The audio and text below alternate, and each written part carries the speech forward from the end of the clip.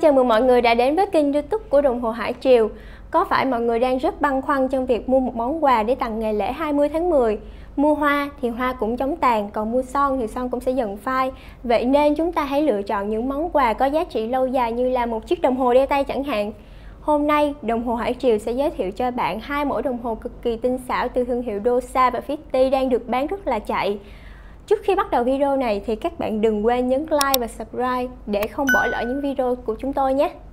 Đầu tiên với thương hiệu Dosa thì tôi chọn mẫu Dosa D158KWH có giá là 16 triệu 540 nghìn. Còn Fifty là mẫu Fifty All Love có giá cũng khá tương đồng là 15 triệu 500 nghìn. Cả hai đều sở hữu điểm chung là khảm xà cừ trắng, một loại vật liệu tương đối cao cấp, được tách từ lớp vỏ ngọc trai thiên nhiên, Lý do mà các cô nàng thích xà cừ là bởi hiệu ứng chuyển sắc theo từng góc nhìn. Đây, như các bạn có thể thấy, khi tôi di chuyển mặt số ở những vị trí khác nhau thì những bước sóng ánh sáng cũng biến đổi theo. Vì tinh thể xà cừ phân bố ngẫu nhiên và không trùng lập nên đồng hồ xà cừ là độc nhất vô nhị. Tuy nhiên, điểm khác biệt giữa hai mẫu đồng hồ này là ở thiết kế mặt số đồng hồ. Với Dosa D158KWH thì có kiểu dáng siêu mỏng và nhẹ, Bề mặt mặt số dừng lại ở mức 5mm nên không kén người dùng, khi đeo rất ôm tay. Các chi tiết bên ngoài như niền, kim, cọc số chỉ giờ được mạ vàng cao cấp theo tiêu chuẩn Thụy Sĩ, giúp mang đến kiểu dáng sang trọng dành cho người đeo. Mặt đồng hồ bao gồm một lồng duy nhất và được khảm xà cừ, vì thế khi di chuyển góc nào cũng rực rỡ nhờ hiệu ứng mà xà cừ mang lại. Riêng phần khung đếm có 3 kiểu trang trí khác nhau là 4 cọc số mạ vàng, 44 cọc số ngắn và 8 viên đá quý. Tất cả đều đối xứng nhau qua tâm đồng hồ. Thiết kế này khá quen thuộc cho những mẫu đồng hồ hiện đại. Đến đây chắc chắn bạn đang chú ý rất nhiều đến 8 viên đá quý trên mặt số. Nếu ai đã biết về Dosa thì sẽ biết 8 viên đá ở đây chính là 8 viên kim cương thật được khai thác từ thiên nhiên. Dĩ nhiên, kim cương sẽ đi liền với những gì đắt đỏ và quý giá, cũng như giá trị mà thương hiệu Dosa Thụy Sĩ mang lại trong suốt hơn 130 năm qua.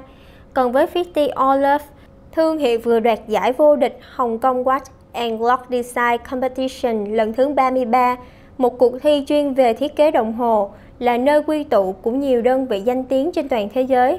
Tất cả những yếu tố giúp 50 vô địch đều được truyền tải đầy đủ qua chiếc đồng hồ 50 Olive Love mà mình đang cầm trên tay đây.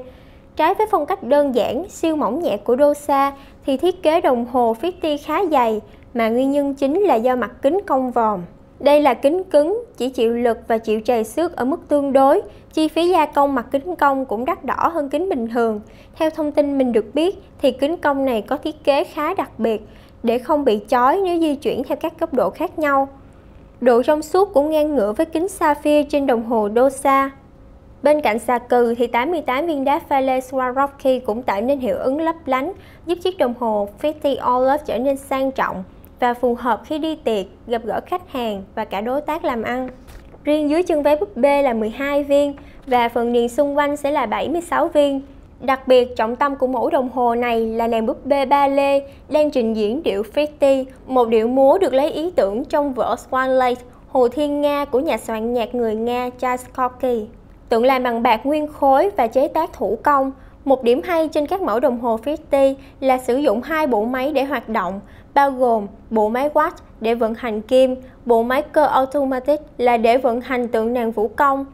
Đây, ngay ở mặt sau đồng hồ, bạn có thể dễ dàng xem được các chuyển động đẹp mắt của các linh kiện cơ khí bên trong. Nói chung, cả Dosa D158KWH và Fitty Olaf đều có những thế mạnh riêng và mỗi phiên bản trên tay tôi đây là một phong cách khác nhau. Dosa thì sẽ hướng đến nhóm khách hàng sang trọng, thanh lịch, còn Fitty là thương hiệu hấp dẫn những người yêu thời trang và sự độc lạ. Các bạn nghĩ sao về video này? Nếu các bạn có bất kỳ thắc mắc gì thì hãy comment phía dưới cho chúng tôi biết nhé. Còn nếu đây là lần đầu tiên bạn đến với kênh youtube Đồng Hồ Hải Triều thì đừng quên nhấn subscribe để không bỏ lỡ những video tiếp theo. Còn bây giờ thì, xin chào và hẹn gặp lại.